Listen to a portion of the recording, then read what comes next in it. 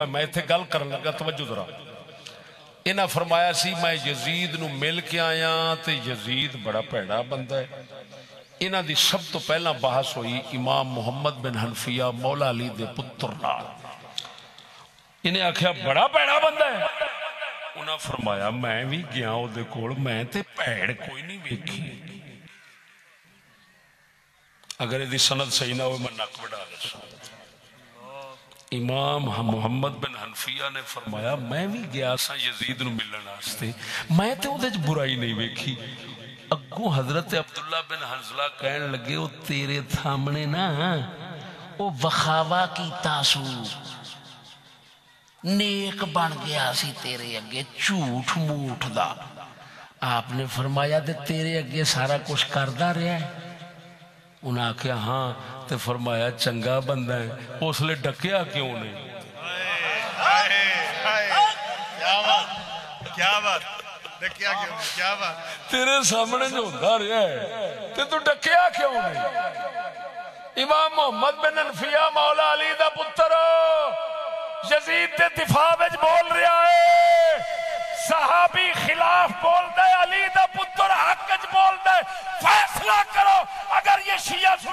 किताबों में ना हो, मैं नाक कपा देता हूँ।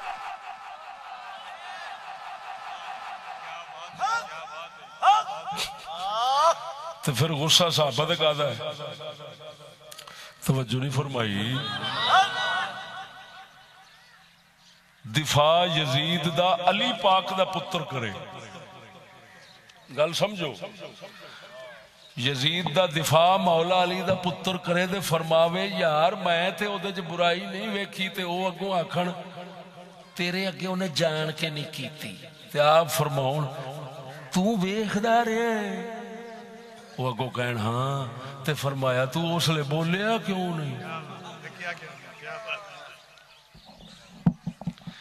हूँ अगों भी उन्हें इन्ह यजीद ने रुपया भी बड़ा दिता इन्होंने तोहफे तहफ भी बहुत दिते हज़रत अब्दुल्ला बिन हंजला आख्या, तू इन्ना कुछ लै आया क्यों लिया उन्हें फरमाया, मैं इस वास्ते लिया मैं इसे माल नाल लड़ांगा। क्या बात क्या बात मैं दसना चाहना भरावा हर एक आपो अपने इजतिहाद कम करता रहा है लिहाजा खबरदार। एवं जबान ना खोलना साहबा ना बैद नहीं ते कख नहीं